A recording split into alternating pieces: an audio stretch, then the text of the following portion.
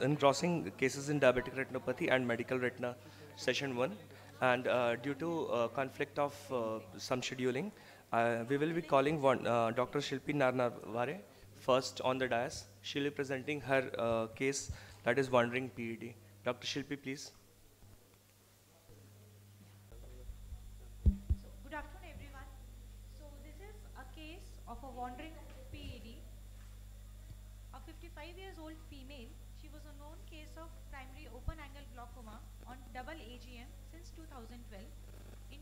2019, she showed the progression and was advised glaucoma triple procedure in both the eyes. Pre-surgery, her BCA was 6 by 12 and the fundus showed PED with the drusen. So the patient underwent uh, GTP in the right eye. After a month, she developed diminution of vision which dropped down to 6 by 60. On anterior segment examination, the bleb was healthy, there was no leak and there was resolving hyphema. But on fundus examination and OCT, we see that there was a PED with the fluid.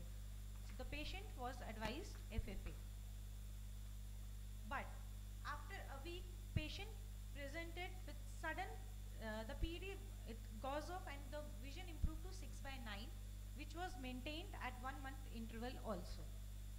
What was the cause? We were not aware. So with the left eye, this was the fundus picture and the OCT before GTP and she underwent the GTP in the left eye also. After three months, the vision was maintained in the right eye, but she presented with the fluid and the large PED in the left eye. And she was advised FFA. Just after two days, this was the picture in the left eye, which was showing some RPE rip without any intervention. The FFA was done, which showed the diffuse leakage and suspected leakage at this point. This was the ICG. There was no any signs of any polyp, polyp or anything. So we decided to just wait and watch because there was a suspected RPE rip also. At follow-up after the 15 days, again she developed fluid and PED in the right eye, which regressed in the left eye automatically. After one month, this was the picture. After one and a half months, this was the picture. Three months later, there was sudden again development of the fluid in both the eyes with the PEDs. At one month, left eye resolved spontaneously while it used to come and go by itself. We haven't given any treatment at any point of time in this case. So this was the follow-ups at the one month, two month and three months. And again two months later, one month later, three months. These were the pictures on the OCTs. Then she lost to follow-up and after six months, this was her color photo, fundus photos. And these were the OCTs pictures at the one month, three months, five months, and the eight month, which was the last follow-up of this case. And at the last follow-up at the eight months, there was no fluid, no PED in any of the eye, and the vision was six by nine. Thank you. So this was the case. We were not knowing why the fluid was coming and going on its own because we haven't given any treatment to this patient. How old was she? I'm sorry, Ajay. 55. 55. So, uh, you had her angiograms. Yes, You showed some twice angios. we- Fluorescent. Yes, ICG was done. ICG was done. Any polyps? No. Fluorescent I saw was very non-specific uh, hypofluorescence. Um, so what is the possible etiologies? Could it be a, just a pachychoroid with a kind of CSR picture? That's what I was say- seeing Yes. them. Uh, whenever the fluid is coming, there was pachy, and whenever the fluid pachy is gone. So that's what I was noticing in the OCTs. Possibly it's just a uh, non-specific pachychoroid spectrum uh, where like CSR she develops fluid.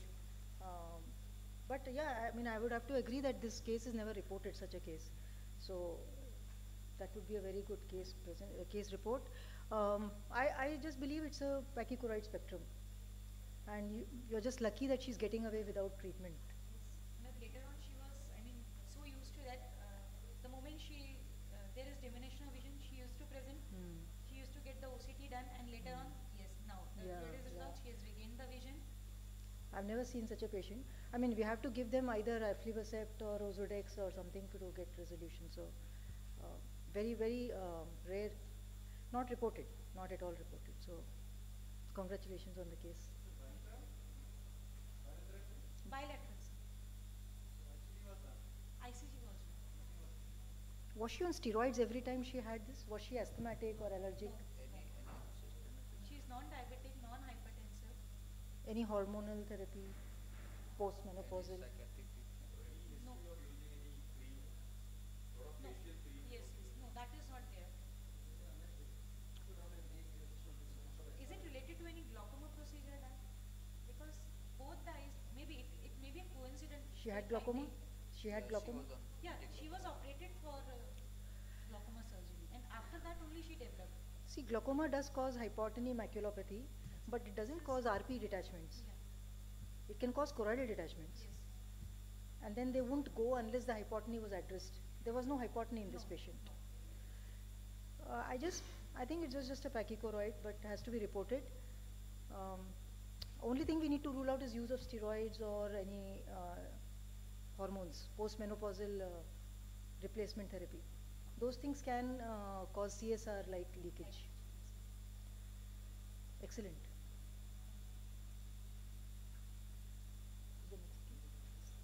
Who's the next? A rare case report of BRAO in a young girl with coagulopathy. Dr. Priyanka.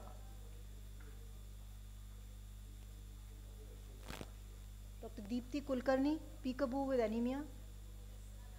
Please come. doctor.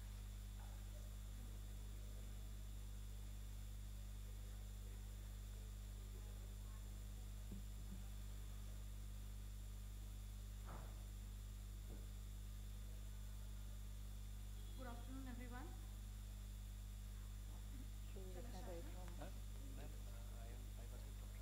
Thank you uh, to the organizers for having me be a part of this uh, first midterm AIOC.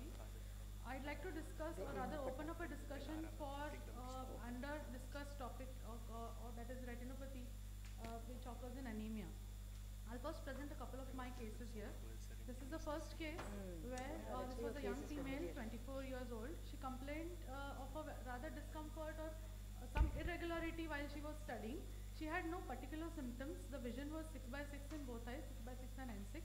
And there were no changes on Amsler's grid for self-testing that we advised her on the same day. And no other uh, abnormality seen except for mild tortuosity of the vessels. This was uh, the picture on pass OCT. We don't have an octa, so this is an on pass OCT that we have. And there were there was nothing specific that we could point to which would uh, explain the tortuosity of the vessels in that eye. On the day two, she said that her symptoms had increased. Now we could see that there was a deep hemorrhage uh, just infranasal to the macula and a blot hemorrhage uh, around developing uh, just temporal to it. At this stage, uh, I thought that this was an impending CRVO and thus gave her an anti-VEGF on the same day. Uh, the perifoveal hyperreflectivity uh, confirmed with my findings of uh, evolving ischemia in this macula. The next day, that is day 5 after receiving the injection also, she came where the, this large hemorrhage had developed uh, temporal to the fovea. Her vision was still 6 by 6. I had, in the meanwhile, I had asked her to evaluate for her blood profile, where her hemoglobin came out to be 7.5, and uh, in general, there were uh, all parameters of uh, microcytic anemia present. The hematologist gave a diagnosis of iron deficiency anemia with reactive thrombocytosis. This is two months post injection and one year post injection. Uh, we can see that the tortuosity had gradually decreased and her vision had been 6-6 since day one and it was preserved even later. Around the same time, I had another case where this was again a young female, 17 year old, who had a vision of 6 by 6 in the right eye, 6 6 parts in the left eye where she could read, but she said there was disturbance when she was studying. And here we can see that there is a branch retinal occlusion that we can see, and she then eventually complained of a black spot while she was reading when she was trying to focus. Uh, these are her findings on OCT and uh, on FAS. Uh, in her case too, her hemoglobin came out to be 9.2. On, pro- on probing further, she said that she had an even lower hemoglobin and was being treated for anemia. The same uh, findings here too, all, uh, all findings of, microcy- of microcytic hypochromic anemia. And uh, she also um, uh, developed a good, good vision after treatment. She did not, uh, she was not willing to receive anti so we had not injected anything in her. Now uh, we have a large number of young girls in our society too who have an anemia ranging from 4 hemoglobin see them often in uh, our OPDs. We discuss anemia along with other factors like diabetes or hypertension or other factors but anemic retinopathy per se is perhaps not being ad- addressed enough. Now are there any ocular factors that can tilt it towards developing anemic retinopathy or developing vascular occlusions like this? We are familiar with seeing other findings of anemia. This is another case where the, this was a young gentleman who had anemia and uh, he developed this uh, hemorrhage on Valsalva. What would have been the cause of retinal changes if the anti-VEGF was not given in the first day or it was deferred till uh, the vision dropped, what would have been the change in this, uh, the course of this disease?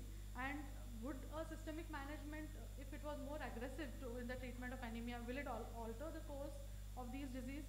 This is what I would like to ask our esteemed panel here. Um, also, uh, along, alo- I discussed this with an immunologist and who studies a lot about. He said that after, while treatment of anemia, during the course of treatment, uh, just like we get reactive uveitis, there is a reactive thrombocyto, uh, th- thrombocytosis, and that is when uh, there are coagulative uh, symptoms are seen all everywhere else in the body. So that is the time that we can develop these symptoms in the eye also. So is there something that we can do to prevent this or address this? Yeah, uh, so, uh, doctor, one thing is it's not that the treatment of anemia causes thrombocytosis. The reason anemia is causing uh, vascular occlusions is because it, anemia causes thrombocytosis and it also damages the endothelium from hypoxia, the vascular endothelium, which leads to occlusion. So anemia itself is enough. It does not need treatment of anemia to cause thrombosis or um, these things. Um, second uh, question was whether treatment uh, would have helped. So yeah, aggressive treatment of anemia has been known to reverse even the retinal arterial occlusion related vision loss because these are young patients. These are not patients who have developed over years and cannot be reversed. So these patients have a relatively good prognosis if the anemia is managed with supplementation, iron uh, infusion. Uh, the third thing was that there are many reports of combined occlusions, BRAO, CRVO, as well as combined venous and arterial occlusions.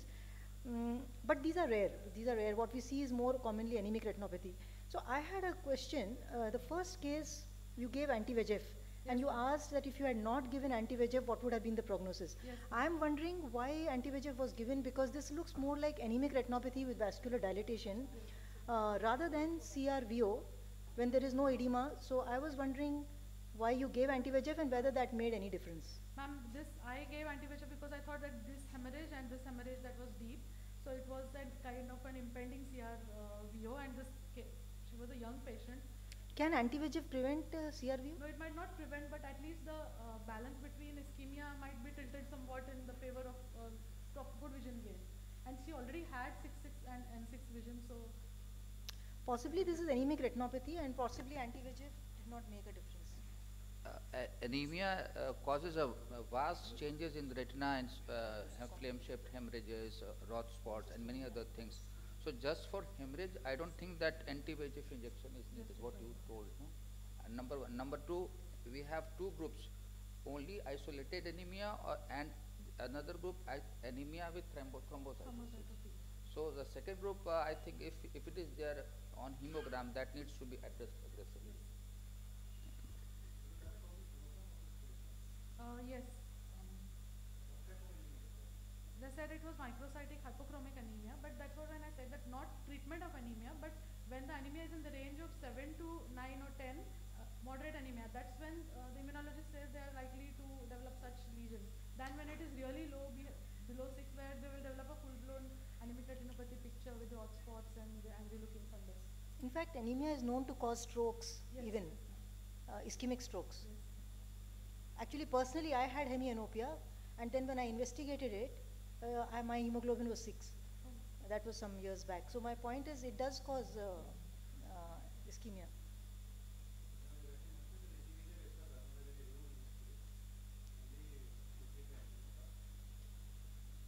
So ma'am, can we attribute this tortuosity to just the Anemic retinopathy causes tortuosity. It causes because of hypoxia, there is tortuosity. So this is not CRVO yet. Thank you. Thank you. Good, good cases. Thanks. So uh, one important point from your presentation is when we see a case of retinal vascular occlusion, we should not look for just the conventional uh, diabetes, hypertension, hyperlipidemia. Anemia is never on our mind when we are thinking of vascular occlusions. That's a very important point. So uh, next we'll call Dr. Munmun Roy for diabetic retinopathy with uh, VH and VG in PVD. Dr. Munmun Roy. So next, uh, I'll request Dr. Alka Ravi to be present after after Dr. Munmun. Be ready with your presentation. Okay, Dr. Alka. Yeah. Okay.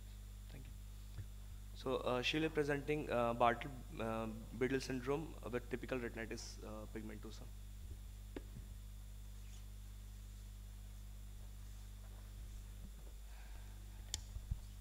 A very good, good afternoon to all. Uh, my topic is Bardet-Biedl syndrome from ophthalmology perspective.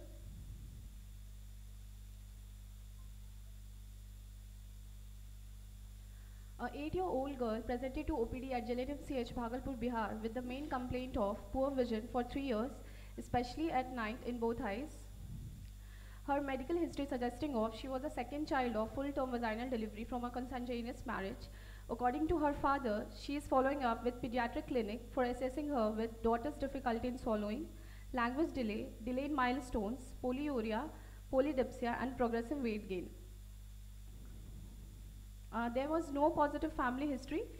Uh, upon general examination, the patient had subnormal intelligence, central obesity, a moon-like face, and subdysmorphic features like low hairline, depressed nasal bridge, and post-axial uh, polydactyl. On ophthalmological assessment, uh, the best corrected visual acuity in right eye, eye was uh, 6 by 60 and in left eye it was PL positive. Patient had nystagmus in both eyes and her refractive examination reveals myopic astigmatism with a very high uh, spherical power and cylindrical power. Uh, her fundus, uh, uh, fundus photograph shows the typical retinitis pigmentosa with pale optic disc and arterial attenuations and the bony spicules in the peripheral retina. As the patient had nystagmus, she was not able to focus on the OCT and her left eye uh, was uh, showing optic atrophy which was uh, shown, uh, which was done, uh, which has been seen through uh, indirect ophthalmoscope. Uh, basic lab work, uh, workup including the complete blood count, fasting blood sugar, thyroid stimulating hormone and liver function test which was within the normal range but she had an elevated triglycerides. So we had uh, we referred the patient to higher center for genetic workup and a possible mutation consistent with uh, Bardet-Biedl syndrome. A thorough search of literature and with clinical findings, our patient fits into the diagnosis of Bardet-Biedl syndrome. Uh, discussion. Uh, Bardet-Biedl syndrome is a rare autosomal recessive genetic disorder which leads to the dysfunction of multiple organ system including the kidneys, genitalia, brain and eye. It caused by the mutations of proteins involved in the cilium and the most commonly exhibited feature was uh, retinal rod cone dystrophy. Clinical confirmation can be done using a revised criterion that consists primary or major features and secondary or minor features. Primary features include hypogonadism, polydactyl, obesity, retinitis pigmentosa, and learning disability, whereas the secondary features include ataxia, speech abnormalities, developmental delay, and diabetes mellitus. Uh, according to this, uh, our patient had uh, central obesity, polydactyl retinitis pigmentosa as primary features, and poor coordination and developmental delay as secondary features. Thus, it fits. Uh, thus, it established the diagnosis of Bardet-Biedl syndrome. Thank you.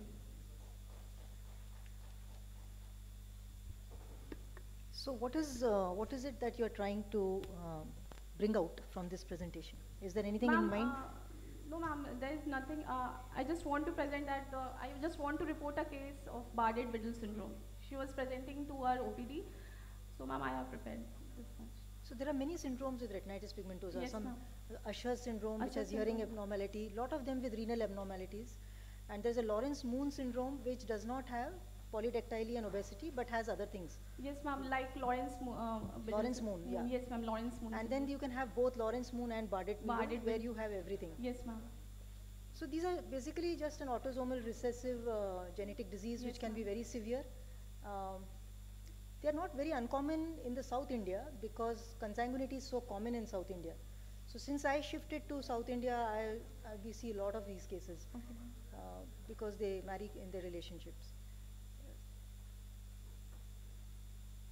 There has to be an awareness. When we see such a patient, we have to talk to the family not to have consanguineous marriages in the future Yes, at ma'am, least. yes.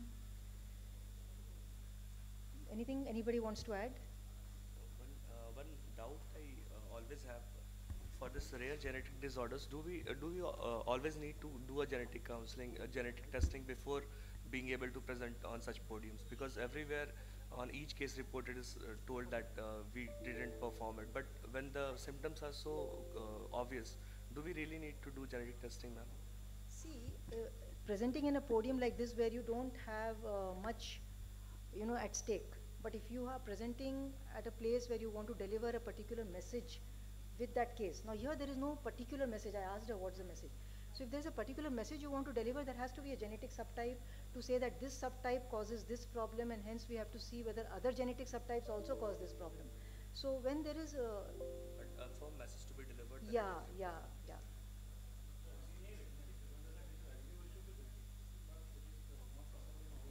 See, it has no bearing on treatment or management, so I don't think it should be done for any case at all. Unless we are planning particular treatment depending on the genetic type, which we don't have. Except Luxturna, which is an intravitreal gene therapy. Luxturna is done for a particular genetic subtype of retinitis pigmentosa. So for that, uh, they do a genetic typing, but we are not offering Luxturna to anybody. Thank you, Dr. Alka. Thank you. So, Dr. Munmun, is the presentation uploaded?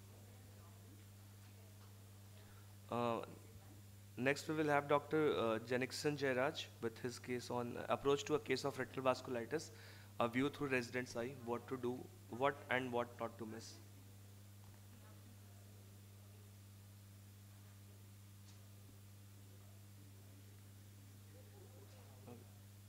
So, after Dr. Munmun, Dr. Janikson. Thank you.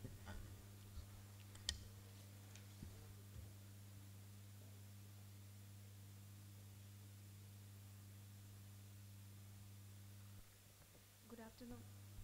Good afternoon, respected judges and all dear delegates. Today I am going to present a case study on bilateral diabetic retinopathy with vitreous hemorrhage, neovascular glaucoma, and partial uh, vitreous detachment. There is also an old case of central retinal vein occlusion right eye and cystoid macular edema of the left eye.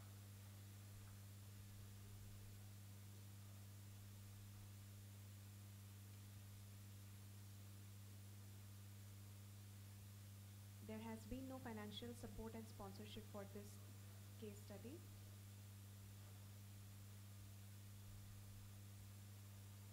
So as we all know, diabetic retinopathy is a condition of the retina caused by microangiopathy due to the long-term effect of chronic hyperglycemia. And this leads to the swelling of the retinal layers. So this was a case history of a 42-year-old female patient who reported to us at the OPD with diminished vision in both eyes, right eye more than the left eye since three years, which was gradual in onset and progressive in nature. And uh, there is also associated mild constant dull aching pain in the right eye since one week and she has also been complaining of wandering blackish spots on looking around in her right eye since one year. She is a known case of diabetes mellitus with hypertension and uh, she gave a previous history of diminution of her vision in right eye four years back when she was diagnosed with CRVO and her vision had deteriorated to hand movement positive. She had already taken two doses of injection ranibizumab back then, one in either eye.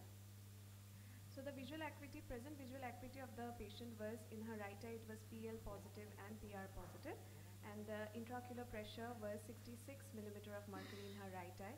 On applanation tonometry it was 52 millimeter of mercury and on gonioscopy in the right eye neovascularization of the angle was also seen.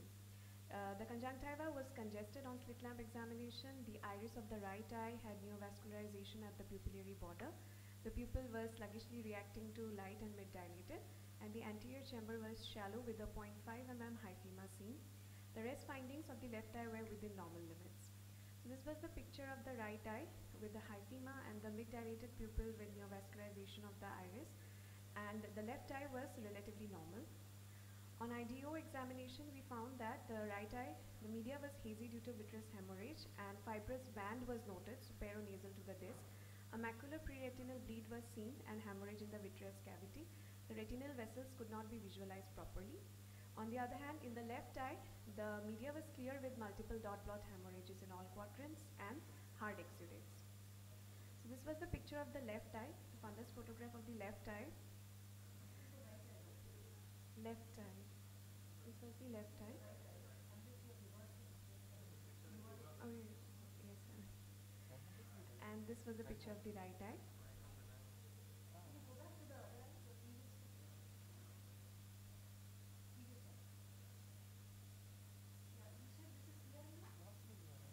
Ma'am, uh, right eye had developed CRVO four years back. The right eye. This was the left eye. The picture. Right.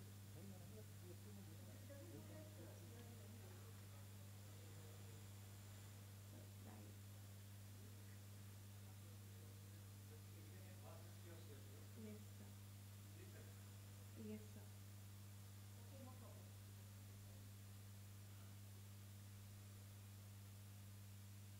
So this was the picture of the OCT picture of the right eye and the left eye. And an ultrasound B scan was done, uh, which showed uh, mild vitreous hemorrhage with posterior vitreous detachment.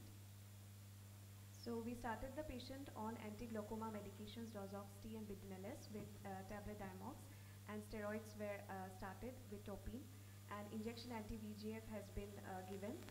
Follow-up is being done for the patient, and the patient has been counseled for surgery. So uh, the discussion, rubeosis iridis is the neovascularization of the iris as we know with numerous coarse and irregular vessels on the surface and stroma of the iris. Many studies have already been done on PVD in neovascular glaucoma and proliferative diabetic retinopathy. And uh, we have concentrated mainly on this case in reducing the IOP and pain of the patient and then plan for intravitreal anti-VEGF injections for reducing the neovascularization. So, uh, on conclusion, uh, cases like this should remind us that diabetes and CRVO once diagnosed should be managed carefully with timely follow-up. Uh, as she had not uh, visited us uh, when she had been diagnosed with CRVO, so we do not know much of the details earlier. But this was the present picture when she came to us in the OPD. And any rise in the IOP should be strictly controlled. These were my references. Thank you. Doctor, you told that uh, your right eye was having a vision of PLPR and the pressure was 66, Yes, sir. something like that. So the picture what you showed uh, doesn't relate uh, to that vision, number one. And uh, what was the, for what patient came to you? The diminution of vision. Uh, she also had uh, Anything relating to pain or something like that? pain was there right eye? So what did you do for right eye? So we started here. She had already discontinued all the medications before. She was treated before she took injections, but then she discontinued the medications. Do you think that any injection will help the patient at the pressure of 70? So what would you do in this such cases? Uh, Is anybody, your senior is here? Anybody who, you're a PG student, right? yes. So anybody who's uh, ophthalmologist with you here, so that we can discuss the case with them? No, okay. So uh, apart from the questions he asked, uh, what is very important in NVG is to know whether it's a closed angle or open angle, which you did not mention. Because that changes the treatment. If it's already a closed angle neovascular glaucoma, you will of course give injection with a paracentesis and then proceed with surgery. See, ultimately the treatment for NVG is what? What is the treatment? What is the treatment for NVG? Anti-VEGF. No, anti-VEGF is only temporary. It will last for two weeks, three weeks. Treatment is laser. Only laser, laser, laser and laser. And in addition, you may do an anterior retinal cryo. Now, when you already have vitreous hemorrhage, pressure is 66, laser will not go. So now your idea becomes, I have to operate, I have to remove this blood, I have to do laser during surgery as much as I can. And wherever I can uh, not do the laser, I will do anterior retinal cryo. That is your idea. So towards that, you may give an anti-VEGF so that the new vessels may regress in the first one week and then you can operate safely. You can do that. But you'll have to do a paracentesis at the time of anti-VEGF, otherwise you can't even inject. Now, if you have not even seen whether the uh, angle is closed or open in the first few visits, you have to have an idea. If it's open angle, then just your laser and ARC will be enough. The angle will be enough to take care of the drainage because you would have taken care of the ischemia. But if the angle is already majorly closed, more than 50%, then you know that despite you treating with laser and ARC, patient will still need a glaucoma filtering surgery, for sure. So then you counsel accordingly, you plan accordingly, you do your surgery, you do a vitrectomy, do your laser, but you're mentally prepared that pressure will not come down because angle is already closed. And then you are ready to refer them for a shunt surgery. Sometimes it's not possible to even, uh, if it's not possible to do anything, you can't even see, then you give an injection, anti-VEGF, get the new vessels down, get a glaucoma filtering surgery done in the next two weeks when there are no new vessels, and then proceed with laser. Once the cornea clears, and if there is no vitreous hemorrhage, proceed with laser. But knowing whether the angle is open or not is very, is very important. So your case was good, but your message is not clear. I have one question. So patient also had cataract. So at what stage would you do the cataract surgery? At this point, we, once the new vessels go, see, anti-VEGF has to be given to move next step. Once you've done that, you can even handle the cataract if you feel that that is going to obstruct your laser treatment or the vitrectomy. But if you feel it's not obstructing your current treatment, then it could wait. But once the new vessels have gone with an anti-VEGF, you can do cataract surgery as well. If you can do a glaucoma filtering surgery, you can do a cataract as well. Any, anybody in the audience has any query about NVG or diabetic retinopathy?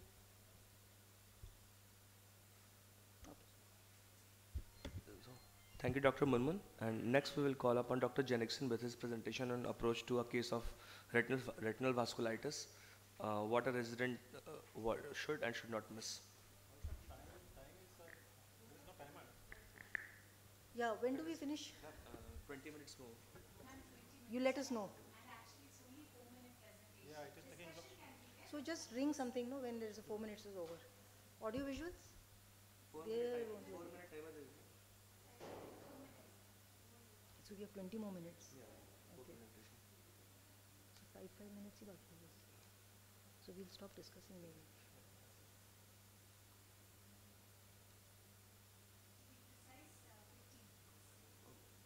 So we have three or four presentations left with 15 minutes. We have to go fast and minimize discussion also. Yes.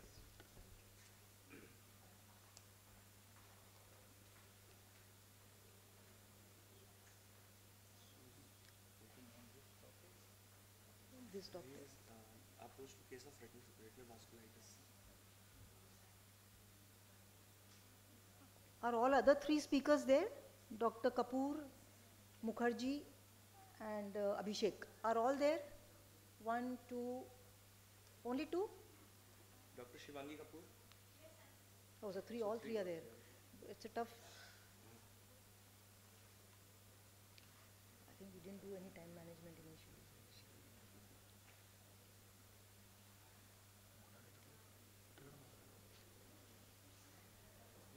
Okay, next speaker, if they are ready, please come. Next speaker. Yeah.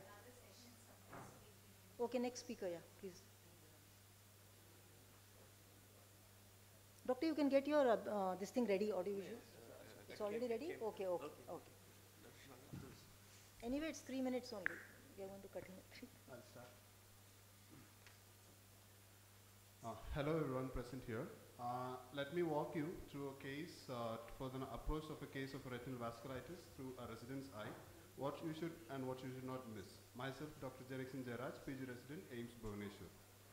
Retinal vasculitis is an inflammatory disease of the blood vessels of the retina that may be associated with primary ocular conditions or with inflammatory or infectious disease in other parts of the body. So here, I'm presenting a 21-year-old male with complaints of painless diminution of vision in the left eye. He had a positive history of contact with a tuberculosis case and on examination, his vision was 1 by 60 with no improvement in the left eye and uh, color vision was 1 by 25 in the left eye and there was no relative afferent pupillary defect and the anterior chamber se- showed plus 0.5 cells. On fundus examination, the right side fundus was normal and the left side fundus showed the disc being normal and the inferotemporal arcade of vein that showed superficial hemorrhages, exudates and perivascular infiltrates. And macular edema with exudates in the form of macular star was also seen. So, coming with this clinical picture, the first, um, the clinical picture and the diagnosis, see, these are the clinical pictures that I got. That is vision loss, uh, macular star, sectorial superficial retinal hemorrhages, perivascular infiltrates, exudation, and leakage. So what all the differential diagnoses that I could think as a first year resident? So first that came into my mind, it could be a branch retinal vein occlusion because it was there was sectorial superficial retinal hemorrhages. Then I went on to my seniors where they had combined the vision loss with the macular star and they told it might be neuroretinitis too. But optic disc swelling was missing. So finally we went up to the faculty and there they gave us the diagnosis of retinal vasculitis. And then we uh, sent the patient for a battery of investigations with a routine blood test and a Mantoux test was done which came out to be strongly positive. A chest x-ray was done which was clear and a syphilis serology was also done. And the patient was treated with corticosteroids, anti-tubercular therapy, and on follow-up, the patient has developed a tractional retinal detachment. So for that, scatter laser treatment was done. After two months of follow-up, the patient developed vision in the left eye to 6, 9, and the color vision was improved to 25 by 25, and there is no RAPD and the anterior chamber square. You can very well see there is decrease in the inflammation in the fundus. So, as a resident, what are you supposed to look for in a case of retinal vasculitis? First, it is the type of vessel, then the size of the vessel, the morphology of the perivascular infiltrate, and any associated ocular signs. Coming to the type of vessel, it could be either the artery, vein, or involvement of the bone. In case of an artery, it could be idiopathic retinal vasculitis, aneurysm, and neuroretinitis associated syndrome, or it could be systemic lupus erythematosus, or it could be polyarteritis nodosa. These are few examples that I'm giving you, which are commonly seen. And when it comes to a vein, it could be tuberculosis, Eales' disease, which is a hypersensitivity to tuberculosis, or sarcoidosis, or it could be Behçet's disease too. When it involves both artery and vein, it could be ANCA-associated disorders like granulomatous with polyangiitis and frosted branch angiitis. Coming to specific perivascular infiltrative morphology, like Kyrieleis plaques, which are whitish segmental plaques that can be seen in infective etiologies like CMV retinitis and in toxoplasma and TB uh, retinal vasculitis. And frosted branch angiitis could also be seen in most commonly in CMV retinitis. And associated ocular signs. In this ocular signs, a subvascular lesion could be specifically considered for a case of TB retinitis or a TB retinal vasculitis. Candle wax drippings can be seen in cases of uh, sarcoidosis. Try to wind up, please. Yes, ma'am. Uh, so coming up to the investigations, fundus fluorescent angiography is a must in these cases. And if you are suspecting a specific etiology, then you can go for specific investigations. And the treatment protocol also includes control of the infection, control of the inflammation, and ancillary treatment for any complications during the follow-up. So the take-home message is distinguish the type of vessel involved and the morphology of a perivascular infiltrate, to look out for the associated ocular or systemic signs, to perform specific blood investigation when a strong etiology is suspected, and to treat based on the detection of an associated condition and the severity of the, severity of the disease. Thank you. Very good. Uh, Can you start the next presentation? Doctor, one question for you. You- I think your Mantoux was positive and your Yes, ma'am. TB Gold was also positive. Yes. Was it done, TB Gold? Qua- QuantiFERON TB gold was not done. So was did- he treated with ATT? Anti-tubercular therapy was given? Ma'am. Okay. ATT was given Ah, ATT was given. just on Mantoux. Ah, yes. yes. We have done a presumptive diagnosis of uh, ocular tuberculosis and we have started. our Because, work. Because I had one patient where Mantoux was positive, QuantiFERON TB was positive, still physician did not treat because there was no symptom. No, uh, see, uh, that's a whole new, I mean, that is- whole session is required for discussion. But to start TB treatment, we don't need a positive Mantoux, we don't need a positive TB Gold. We just need a suggestive clinical picture. That's it. So the physician has no business to refuse starting ATT if you want it. Okay. You have to change the physician, that's all. Thank you. Thank you. Dr. Shriram, please. Good afternoon. Hi. Good afternoon, everyone. Today I'm presenting a case of a 20-year-old male presented Screen. in a OPD.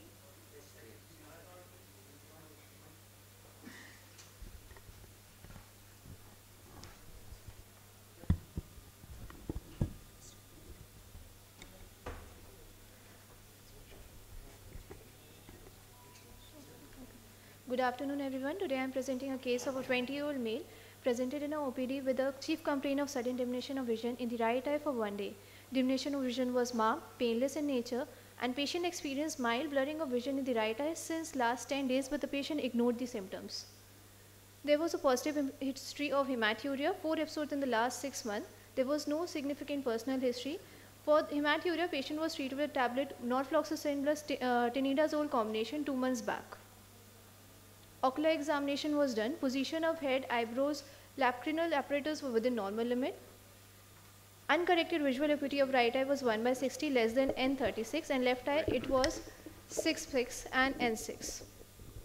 Anterior segment examination was within normal limit except right eye grade 1 RAPD was uh, grade 3 RAPD was present.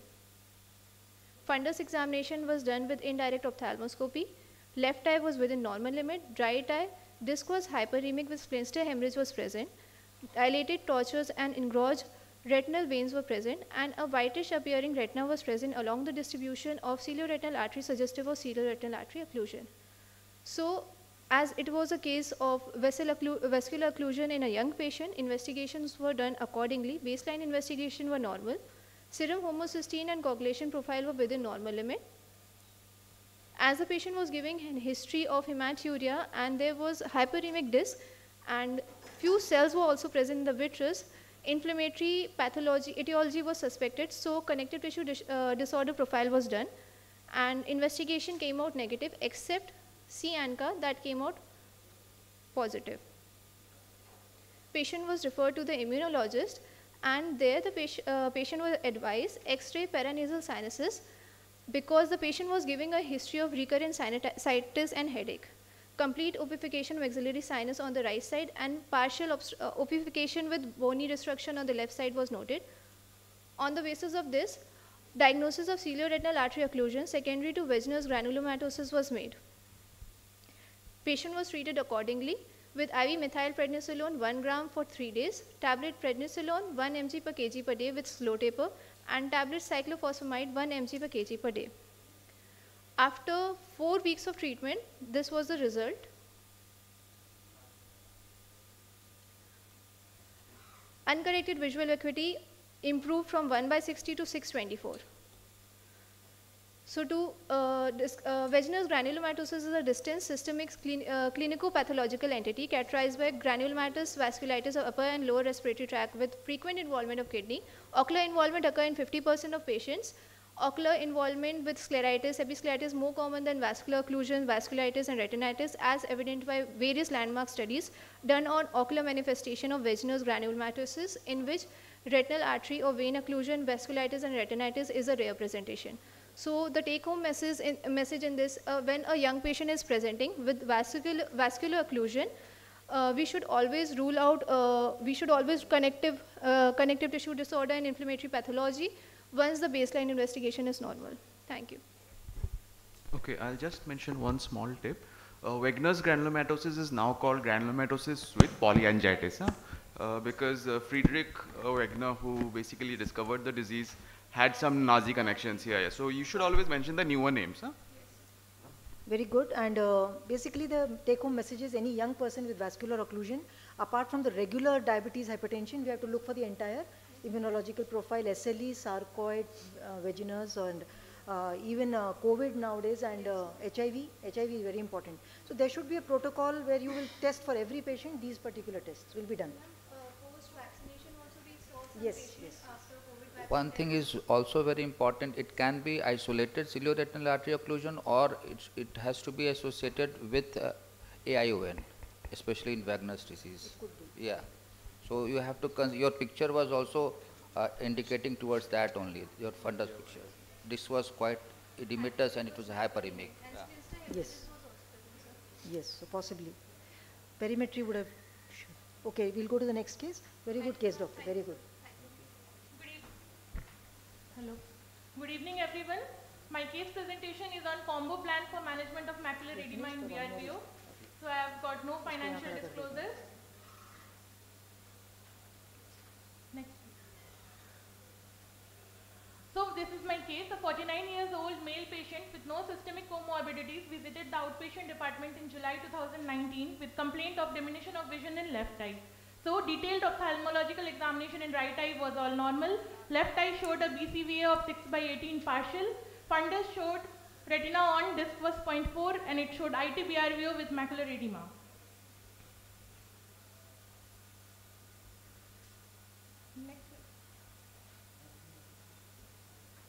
So this is the fundus picture and this is the OCT picture of left eye. So based on the clinical findings and the investigation findings, we planned to give him injection ranibizumab first dose intravitreal. So first dose was given in July 2019. Then we again checked for um, OCT and everything. It was a non-resolving macular edema, so second dose of ranibizumab was given in September 2019.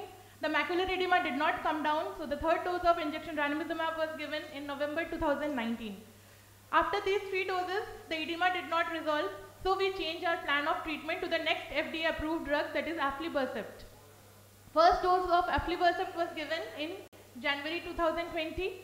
The edema did not come down, so the second dose of aflibercept was given in March 2020. The edema still did not come down, so the third dose of aflibercept was given in June. Now we see in the graph that the edema has come down, but again there was a recurrence of edema. So now again we had to change the plan of treatment.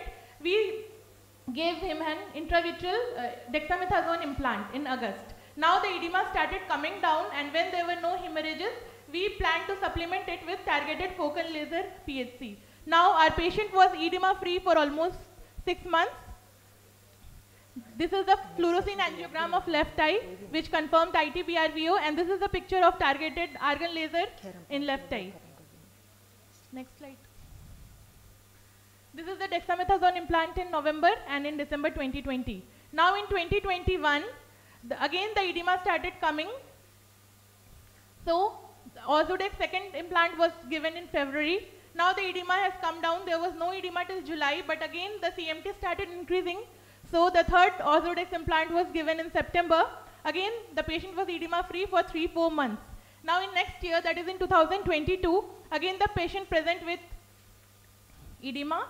So again, we had to give him the fourth implant of Ozurdex. During all this uh, Ozurdex implant, we checked the IOP and we checked for cataract. The, the IOP was maintained. There was no cataract. And after the fourth implant, the patient was edema free for nine months. But when the patient presented to us in November 2022, now there was a sudden drop in BCVA. There was a recurrence of macular edema and huge CMT of 614. And here the patient has started developing cataract.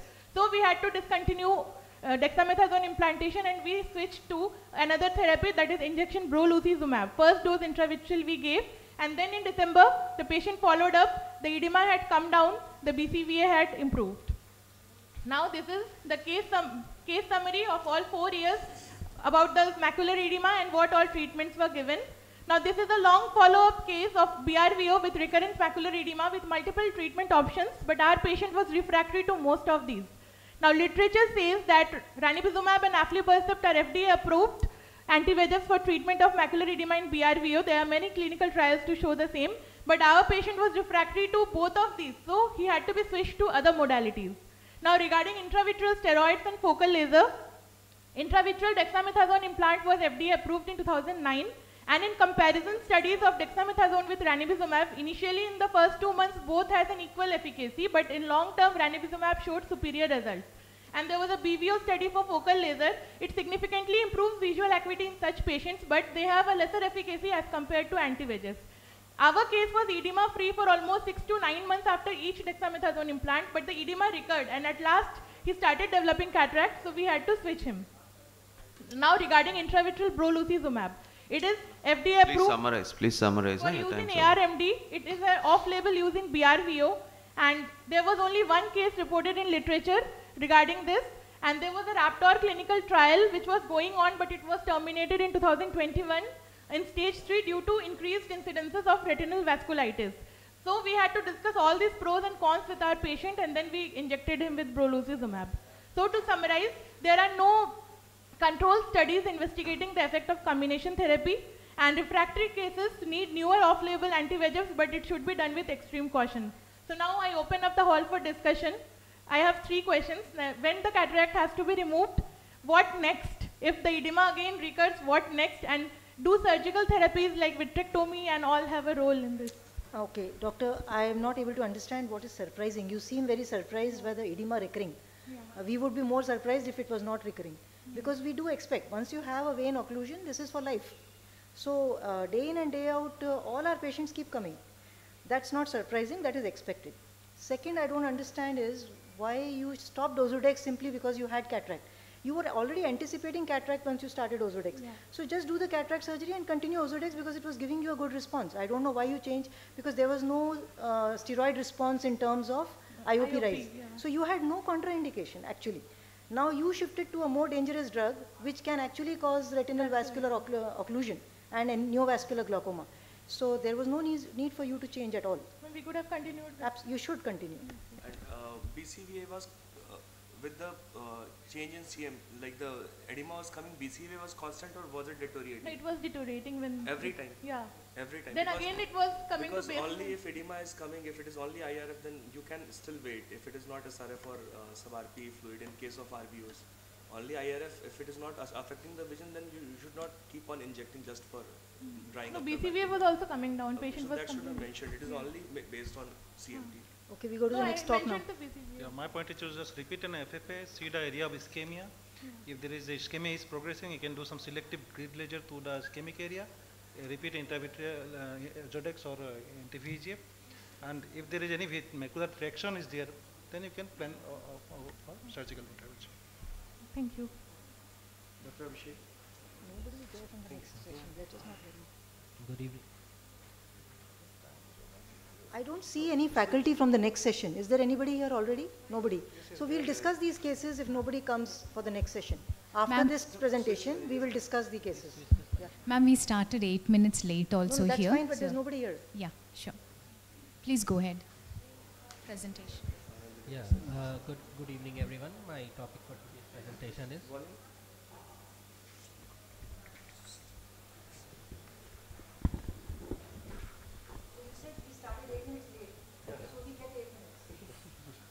Okay. Okay. Hello. Uh, good evening, everyone. My topic for today's presentation is my experience of brolucizumab in a case of idiopathic CNVM. I have no financial disclosures and conflict of interest. So, my patient, 25-year-old male, an associate in consulting firm by occupation, presented in OPD with a chief complaint of diminution of vision, left eye, six months. He had no any past history of systemic illness or any medication or any history of trauma. Patient was pre- previously diagnosed as a case of idiopathic CNVM with SRF in left eye diagnosed elsewhere for which ha- he had received intravitreal bevacizumab there.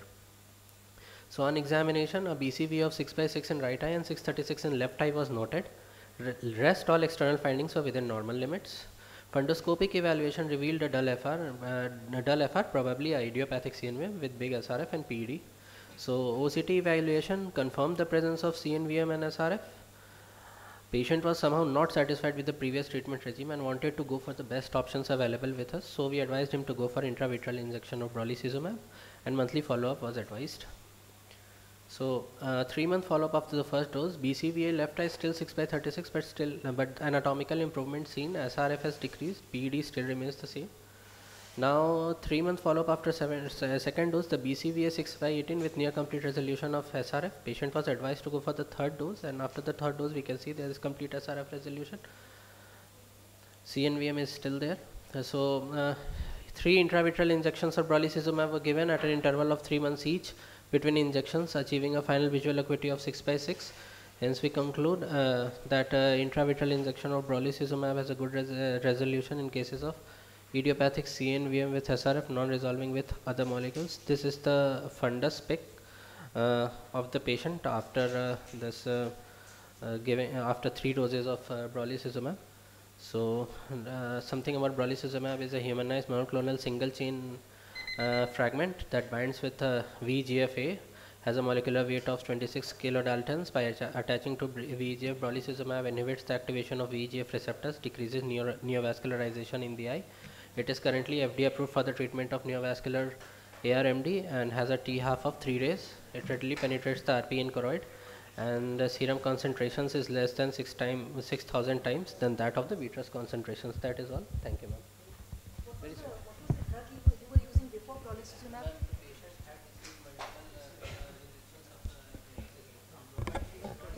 Bevacizumab, okay, okay. So he was, you said he was somehow not satisfied. That is nothing.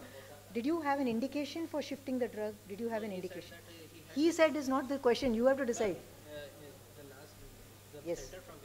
Yes. Uh, there the recorded visual acuity was 636 and after the injection also the recorded visual acuity Visual acuity may not change. point is, was there any evidence of activity, fluid, RP detachment, which was not resolving with bevacizumab? Do you have any such evidence before you shift to brolucizumab?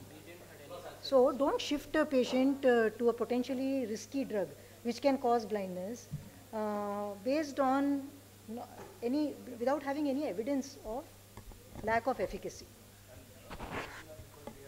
Brolucizumab has a problem of uh, intraocular inflammation, you know.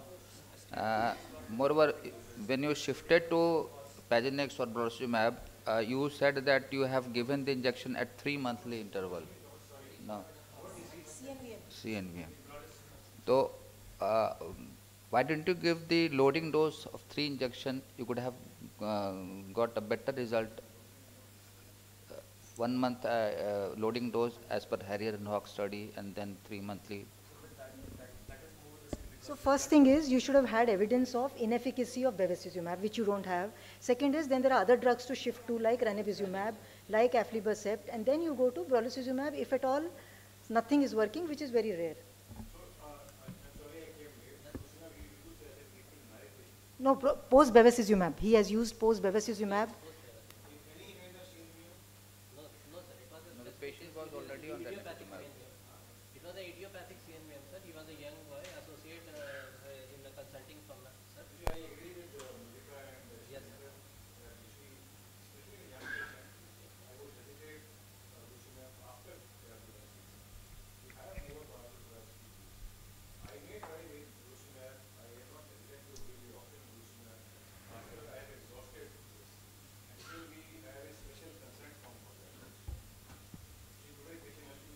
Yes.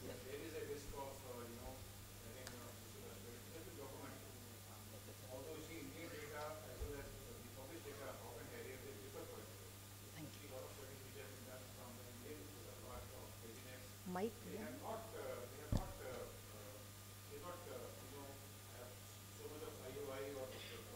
Okay, sir. Okay, sir. Yes, yes, sir. Mic तो दे दो जब कोई बोलता है तो not even listening